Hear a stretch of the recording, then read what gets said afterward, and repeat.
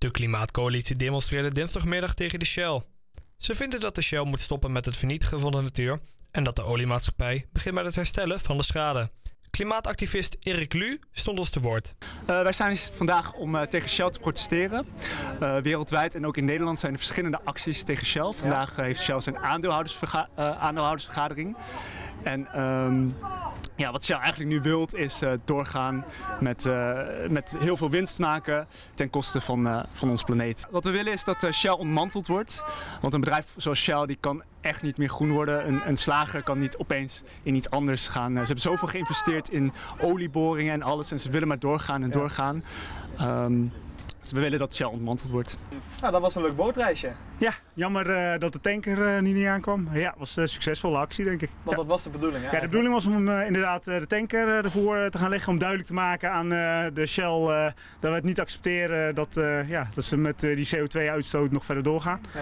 En er komen hier in Arnhem, in de Nieuwe Haven, komen twee grote olietanks per dag binnen. Van 135 meter lang bij 15 meter breed. En dan als ze leeg weggaan, dan zijn ze 4 meter hoger. Dus moet je je voorstellen wat voor een blokken CO2 dat zijn. En daar wordt heel Oost-Nederland mee uh, bevoorraad. Ja.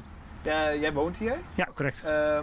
Ja, wat, wat doet dat met jou als jij dan die tanks iedere dag ziet langskomen? Ja, dat, uh, onder andere dat wij nu hier met deze klimaatcoalitie bezig uh, zijn gaan, is omdat je dus al jaar in jaar uit ziet wat voor een blokken CO2 zie je naar binnen varen. Ja. En uh, ik denk dat het dan wel heel duidelijk en tastbaar wordt voor je. Ja. ja. We hebben vandaag verschillende protesten, zoals bij de aandeelhouders, zoals bij ABP Pensioen, dat is, die is aandeelhouder van Shell. er zijn verschillende protesten in, bij het hoofdkantoor in Amsterdam en Heerlen. Uh, door verschillende acties eigenlijk. En uh, wat wij hier doen is, uh, wij staan bij de olietankers, waar smeermiddelen en benzine elke, elke dag wordt gehaald. En nu bij de Nieuwe Haven, waar elke dag twee olietankers binnenkomen om Oost-Nederland te voorzien van olie. Er staan dus nog meer demonstraties gepland. Wanneer weten we nog niet, maar dat gaan we in de komende weken nog zien.